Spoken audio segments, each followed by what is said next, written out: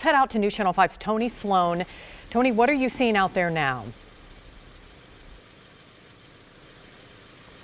Well, so in the words of some of the people that we talked to at the church and this fine arts center, they say it's just heartbreaking. The power is out in this area, and it has been since the storm rode through. But just take a look at this damage that has ripped this school apart and flooded the Walnut Missionary Baptist Church here on Walnut Grove Road.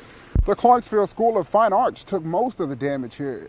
People who work at both of these buildings, they left not long ago, but you can still see the left behind items as they try to pick up the pieces and save whatever they can. We're told this building is about two years old, the school, but the church has been here for over 150 years.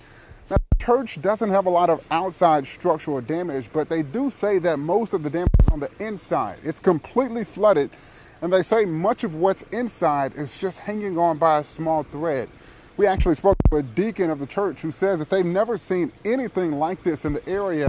And the arts director for the school says that they're just having to build from scratch. Both of them say there's a lot of work that needs to be done in this area.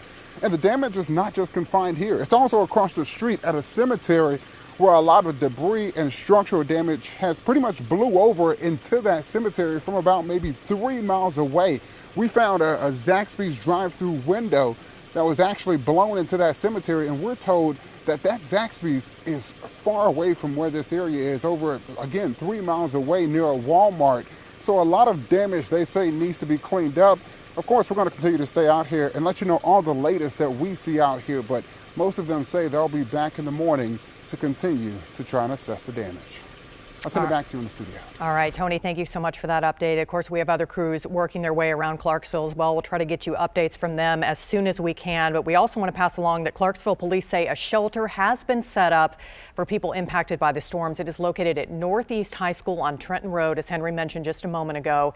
And the Montgomery County Sheriff's Office also says a temporary shelter has been set up at the Mosaic Church on Garrettsburg Road. That's for any residents who were displaced in that area. Of course, lots of people are still without power tonight and will be for several hours. Clarksville's electric utility CDE light Lightband says at least 17,000 people are without power in Clarksville. And Cumberland Electric Membership Corporation is reporting around 1,500 are without power in the county. So, of course, we will continue to monitor that as well.